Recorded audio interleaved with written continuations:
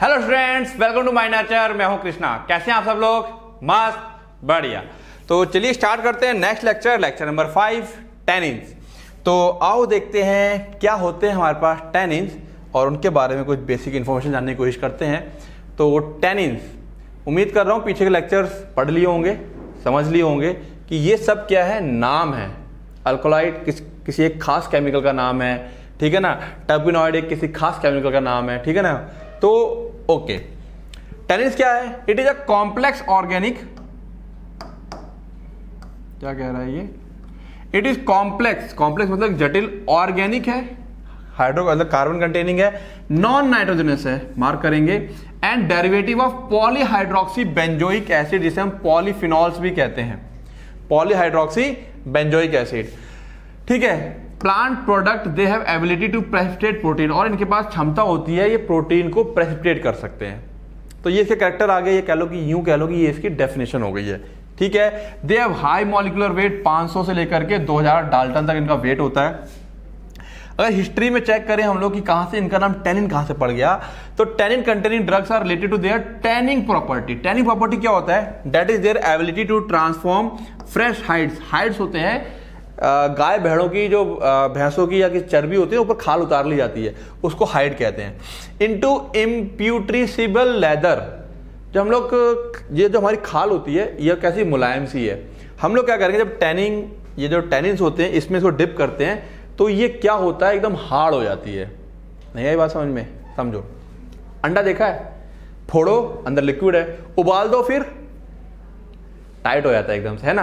तो वैसे ही टेनिन की प्रॉपर्टी है कि क्या करता है, जो मुलायम खाल को एकदम हार्ड कर देता है। लेदर देखा ना उस पर जल्दी कोई स्क्रैच नहीं आएगा, ठंडी गर्मी नहीं लगती है, उसके ऊपर जल्दी कोई इंपैक्ट नहीं आता अगर कोई लेदर अच्छा है तो। ठीक है ना? तो ये लेदर में कन्वर्ट करवाने में हेल्प करते हैं। तो टेनिन ये जो प्रोसेस है, एक मुलायम खाल को हार्ड लेदर में बदलने की डेट इज़ कॉल्ड टेनिंग वहीं से इसका नाम पड़ गया। क्लियर है? आओ देखिए आगे। तो consequence of tanning is formation of bond between the collagen fiber हमारे अंदर कॉलेगन फाइबर पाए जाते हैं स्किन में। तो कह रहा टैनिंग होती कैसे है? बॉन्ड बन जाते हैं कॉलेगन फाइबर के बीच में जो हाइड में पाए जाते हैं विच इम्पार्ट रेजिस्टेंस जिसकी वजह से रेजिस्टेंस टू वाटर लेदर के ऊपर पानी का हीट का और एब्रेशन घर्षण का कोई असर नहीं होता। बॉन्ड बन जाता है हार्ड हो जाता है ना? है ना? जैसे कि कच्चा अंडा लो, गिरा दो, फूट जाएगा। उबला हुआ अंडा लो, गिराओ तो फूटेगा नहीं। पिचक थोड़ा बहुत जाएगा, असर होगा, लेकिन फूट नहीं जाएगा बिल्कुल भी, ठीक है ना? तो वैसे ही ये टैनिंग हुई कैसे? ये टैनिंग हो गई है कॉलेगन फाइबर्स थे जो, अगर पढ़ रहे हो, क्या कहते हैं ह्यूमन एंटोमी फिजियोलॉजी तो वहाँ पे कॉलेगन फाइबर का ज़िक्र आया होगा, ठीक है? वो क्या कर लेते हैं, उनके बीच में बॉन्ड बन जाते हैं। ये जो कैपेबिलिटी है इनकी, ये बॉन्ड बनाने की this capability of tannin to combine with macromolecules explain ये एक्सप्लेन करता है वाई दे, ये पेस्ट्रेट कर देते हैं सेल्यूलोज को पैक्टिन को और प्रोटीन को। क्योंकि बॉन्ड बनाने की जो इनकी क्षमता है, इसकी वजह से ही ये सेल्यूलोज पैक्टिन और प्रोटीन्स को प्रेसिपिटेट कर देते हैं। प्रेसिपिटेट मतलब समझ रहे हो ना? लिक्विड का सॉलिड में कन्वर्ट हो जाना। अच्छा अब यहाँ पर एक बात लिक्विड का सॉलिड में कन्वर्ट हो जाना। ठीक है। लिक्विड का सॉलिड में कन्वर्ट हो जाना। एक क्वेश्चन आता है कि एग के अंदर जो लिक्विड था बॉयल हुआ तो वो लिक्विड कहाँ चला गया? ठीक है, एक सवाल यहाँ से क्रिएट करते हैं हम लोग। चलो लास्ट लेक्चर में मैंने एक सवाल पूछा था कि अगर माइनस चालीस डिग्री सेंटीग्रेड में जो लोग रहते हैं, वो लोग कपड़े कैसे सुखाते हैं? तो कुछ लोग, एक बच्चे का आंसर आया, सर फ्रिज में सुखाते हैं। फ्रिज में नहीं सुखाते हैं। माइनस चालीस डिग्री मतलब समझ रहे हो, कपड़े धुलो और ऐसे बाहर डाल दो तुम। कपड़े में जितना भी पानी होगा, वो जम जाएगा। उसके बाद कपड़ा उतारो झटक दो, वो सारा पानी बर्फ़ के तौर पे जो छीटे लग करके क्या हो जाता है? अलग हो जाता है। बाहर डालते हैं चेक करना कभी इस चीज़ को। भाई जो पानी होगा कपड़े के अंदर, वो क्या हो जाएगा? जम जाएगा। और पतली सी लेयर जमेगी। उसका उतार के झाड़ दिया। तो सारी लेयर क्या होती है? टूट जाती है। कभी चेक करना, जितने लोग बर्फीले इलाकों में रहते हैं, कपड़े भारी सुखाते हैं। भारी सूखते हैं, ठीक है? और आज का सवाल क्या है? एग के अंदर का पानी कहाँ चला गया उबलने के बाद? वो पानी चला कहाँ गया? ठीक है? क्लियर है? चलो। कमेंट करना अगर किसी को इसका आंसर पता है तो। चलो, आगे आते हैं, क्योंकि यहाँ पे सेम चीज़ हो रही है ना कि हमारे ये क्वेश्चन कहाँ से आया? जो स्किन होती है, उसमें भी पानी होता है। वो पानी चला कहाँ जाता है? ठीक है ना? तो करेंगे बात। आगे आते हैं। It also explain the characteristic astringency जो एस्ट्रिंजेंट प्रॉपर्टी होती है। टार्टनेस की जो प्रॉपर्टी है by precipitating the glycoprotein content in saliva ठीक है? Tannin make the latter lose its lubrication property ठीक है, इस पार्ट को छोड़ देना। नॉट सो इंपॉर्टेंट आगे आते हैं। क्लासिफिकेशन की बात करें तो हम लोगों ने गोल्ड बीटर टेस्ट के हिसाब से इसको दो पार्ट में तोड़ा हुआ है। अगर जो गोल्ड बीटर टेस्ट को पॉजिटिव कर देते हैं मतलब पाए जाते हैं, देते हैं, उसको हम ट्रू टेनिन कहते हैं। और जो गोल्ड बीटर टेस्ट में फेल हो जाते हैं, उनको हम लोग सूरोटेनिन कहते हैं। ठीक है? फिर हमने फर्दर और क्लासीफाई कर दिया। ट्रू टेनिन और सूरोटेनिन high molecular weight low molecular weight true tannin further तीन पार्ट में तोड़े गए हैं। हाइड्रोलाइजेबल टेनिन कंडेंस टेनिन और कॉम्प्लेक्स टेनिन। तो इस टाइप से हम लोगों ने इनकी क्या कर रखी है? क्लासिफाई कर रखा है। ऑकरेंस की बात करें तो फैमिली मैंने कहा था कुछ याद कर लो बेसिक बेसिक फैमिली ठीक है ना? एसरेसी एक्टिनिडेसी एनाकार्डियसी बिक्सासी बर्सरेसी ठीक है? ये फैमिलीज़ हैं जो तुम लोगों क्या कर रहे हैं? लर्न कर लेनी चार पाँच। जो कॉमन हो सब में, उनको तो पक्के से याद कर लेना। एक बार थोड़ा सा नज़र डालना, सब में कौन कॉमन है। क्लियर है? डिस्ट्रीब्यूशन जैसे मैं हमेशा बोलता आया हूँ ठीक है ना? Bark wood leaves bud stem fruit seeds root and plant plant galls galls पता ना जो दानेदार चीज़ें से पड़ जाती है प्लांट्स के अंदर? भूल गए मेरे ख्याल से। याद है? पढ़ा चुका हूँ गर्ल्स अब देखते हैं कि कहाँ पर होने से क्या काम हो रहा है ये। नॉन वुडी पार्ट जो हार्डवुड होता है प्लांट का नॉट नॉन वुडी पार्ट जहाँ वुड नहीं पाया जाता है, जैसे कि secondary xylem and phloem heartwood of conifer यहाँ पर काम क्या करते हैं? Support and regulate the growth of tissue tissue growth में हेल्प कर रहे हैं। Possess anti microbial activity and thereby increasing the durability of wood naturally जो पेड़ का तना कट जाता है हम लोग कहते हैं शीशम का जो दरवाजे लगवा लो तो उनमें कीड़ा नहीं लगता है। क्यों? क्योंकि उसके अंदर ये पाए जा रहे हैं। टेनिस पाए जा रहे हैं। और टेनिस कैसे होते हैं? एंटी माइक्रोबियल हैं, ठीक है? और काफ़ी स्ट्रांग बनाते हैं उसको वुड को। फिर अगर हम बात करें बर्ड की, ठीक है? तो जो बर्ड की बात करें तो आउटर पार्ट ऑफ़ बर्ड जो बर्ड होता है, कली होती है, उसके आउटर पार्ट में पाया जाता है। प्रोवाइड प्रोटेक्शन अगेंस्ट फ्रीजिंग उसको फ्रीज होने से बचाता है ये। लीफ की बात करें तो एपिडर्मी से पाया जाएगा, ये भी ऊपर वाली छाल है। तो प्रोवाइड प्रोटेक्शन अगेंस्ट प्रीडेटर है ना? पत्तों को खाने से बचाता है अपने आप को ये। बात करें रूट की तो हाइपोडर्मिस में पाया जाएगा ये। Inhibit the colonial formation of pathogen कोई फंगस वगैरह आकर के वहाँ रुकने की कोशिश करेगा तो ये टेनिन उसको वहाँ पर रुकने नहीं देगा। तो ये जस्ट मैंने एक थोड़ा सा उदाहरण दिया कि कहाँ पर है और ये क्या क्या काम कर रहे हैं, और ओवरऑल मैंने बताया इनका काम कैसा है डिफेंसिव है। तो कुछ यहाँ पर ये मिल गए तो मैंने यहाँ तुमको दे दिए हैं अदरवाइज़ डिस्ट्रीब्यूशन में यहाँ तुमको पता ही है कहाँ कहाँ पर ये पाए जाएँगे। क्लियर है बातें? चलें आगे। नाउ एक्सट्रैक्शन एंड आइसोलेशन तो यहाँ थोड़ा सा हमको थोड़ा समझना पड़ेगा क्या है इसका। Tannins are extracted using water alcohol ether and acetone ठीक है ना? एसीटोन और वाटर का इस्तेमाल ज़्यादा किया जाता है। Optimal yield are obtained from fresh tissues और फ्रीज ड्राइड टिश्यू देखो वाला टर्म आ गया। जो कल मैंने बोला था फ्रीज ड्राइड फ्रीज ड्राइड का मतलब ठंडा करके उसके अंदर का सारा लिक्विड निकाल दिया। जैसे कपड़े के अंदर का ठंडा किया, हमने जमा दिया, जो उसके अंदर लिक्विड था वो झाड़ दिया। ठीक है? That is called freeze dried ठंडा करके, जमा करके सुखा देना। ठीक है? Optimal yield are not obtained from dried tissue अगर कोई सूख गया, धूप में पड़ा पड़ा सूख गया तो उससे हमें अच्छी ईल्ड नहीं मिलेगी। क्यों? Tannins are irreversibly combined with other polymer तो टूटने के बाद टेनिस कई बार क्या होते हैं? दूसरे पॉलीमर के साथ कंबाइन कर जाते हैं और फिर कुछ और बना देते हैं। ओके आगे आते हैं। अब जब एक्सट्रैक्शन हो चुका है तो जब हम एसीटोन जो डाला था, उसको हटाएँगे आफ्टर एलिमिनेटिंग एसीटोन जैसे डिस्टिलेशन में the pigment and lipids are remove from the aqua solution by solvent extraction जो पिगमेंट्स और लिपिड्स होते हैं पिगमेंट्स पता है ना? बता चुका हूँ मैं, जो कलर एलिमेंट्स होते हैं। Pigments and lipids are remove by from the aqua solution by solvent extraction जो सॉल्वेंट एक्सट्रैक्शन का तरीका होता है, उसकी हेल्प से हम लोग पिगमेंट और लिपिड को हटा देते हैं। Ethyl acetate extraction of the aqua solution separate the dimeric pro proanthocyanidins and most of gallotannins इसकी हेल्प से हम लोग इसको और इसको रिमूव कर देते हैं pro antho pro anthocyanidins and gallotannins ठीक है? Polymeric pro anthocyanidins and high molecular weight gallotannins remains in the aqueous solution phase वो एक्वस पानी में रह जाता है। अब उसके बाद टू ऑप्टेन प्योर कंपाउंड हमको जब प्योर कंपाउंड लेना है तो हम लोग क्या करते हैं अल्टीमेटली वही क्रोमोटोग्राफिक टेक्निक है हमारे पास, ठीक है?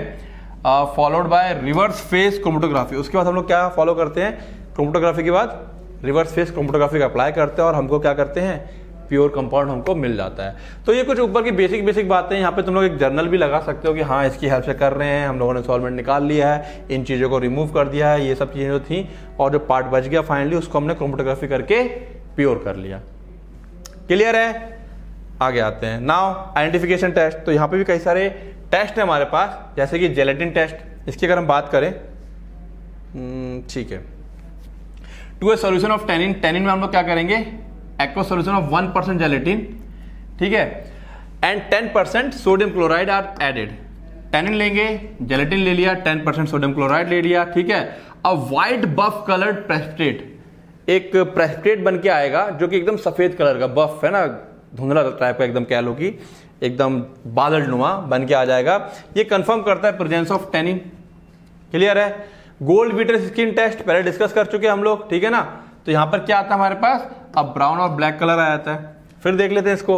A small piece of gold beater skin ये बता चुका हूँ मैं, आंतों की ऊपर की छाल होती है। Membrane prepare from the intestine of an ox देखो, यहाँ पे तुम लोगों को एक चीज़ बताऊँ मैं। गोल्ड बीटर स्किन तुम लोगों ने बर्फ़ी वगैरह लेते हो तुम लोग? लेते हो कि नहीं लेते हो? अच्छी वाली बर्फ़ी, है ना? कौन सी है एक आती है? क्या नाम है उसका? काजू काजू करके नाम है ना कुछ? क्या नाम है? खैर, उसके ऊपर चांदी की परत परत होती है। ठीक है?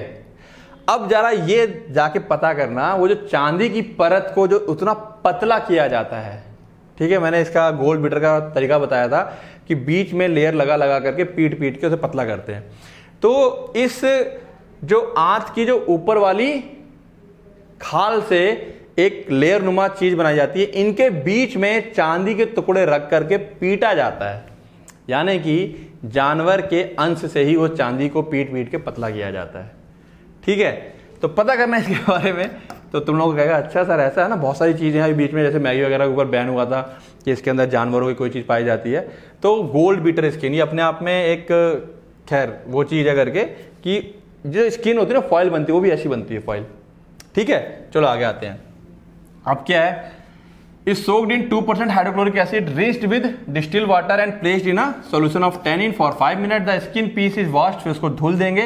With distil water and cap 1% percent solution of ferrous sulphate a brown black colour is produced on the skin due to presence of tannin ठीक है? टेनिन की प्रेजेंस की वजह से। अब मैंने क्या बताया कि इसको तुम लोग क्या करोगे? क्या करोगे? Small piece of gold beater is soaked in two percent hydrochloric acid distil water धुलने के बाद placed in solution of tannin है ना? इसको लिया, किससे धुला? हाइड्रोक्लोरिक एसिड से धुल दिया इसको, फिर किसमें डाल दिया? टेनिन वाले बीकर में डाल दिया। तो स्टेप बाय स्टेप में लिख लोगे डिस्कस कर चुका हूँ पहले भी, आगे आते हैं। Phenazone test ten M of aqueous extract of tannin ये याद ना रहे ना तो देखो क्या करना मैं फिर बता रहा हूँ। टेनिन लिया। ठीक है? And sodium acid phosphate tannin plus अब टेनिन कहाँ से लिया? सैंपल लिख दो यहाँ पर। टेनिन कहाँ से लिया? सैंपल से ले लिया। और आगे क्या ले लिया है? सोडियम एसिड फॉस्फेट ठीक है? Is heated and cooled and filter इसको क्या कर लिया? हीट कूल फ़िल्टर ठीक है? A two percent solution of phena benzo phenazone is added then मत लिखो उसको। फिनाजोन ऐड है ना? परसेंटेज ना याद हो तो मत लिखो। मैंने क्या कहा? लकीर का फकीर नहीं बन जाना है। हमको वो चीज़ करनी कि एटलीस्ट टीचर को पता चले कि हमको आता है। ठीक है? ये नहीं कि एकदम एग्जैक्ट आता है। हमें पता है। एग्जैक्ट नहीं पता, कोई बात नहीं। एग्जैक्ट याद हो जाए और अच्छी बात है। फिर क्या आ जाएगा? टू द फिल्ट्रेट अ बल्कि कलर्ड प्रेसिपिटेट इज़ फॉर्म्ड यहाँ पर क्या आ जाएगा? कलर्ड प्रेसिपिटेट आ जाएगा। बात समझ में आ रही है? तो ऐसे लिख लो। मत लिखो ten M L two percent. याद होनी चाहिए बातें हमें। क्लियर है बातें? चले आगे। नाउ मैच स्टिक टेस्ट इसे कैचकिन टेस्ट भी कहते हैं। Match stick is dipped in aqueous plant extract match stick को प्लांट के एक्सट्रैक्ट में डाल देंगे। सुखा लेंगे near burner and moisture with concentrated hydrochloric acid फिर उसके ऊपर हल्का सा छिड़क देंगे क्या? एस नम कर दिया उसे। ऑन वार्मिंग नियर फ्लेम अब उसको फ्लेम के पास जाकर के जब गर्म करेंगे the match stick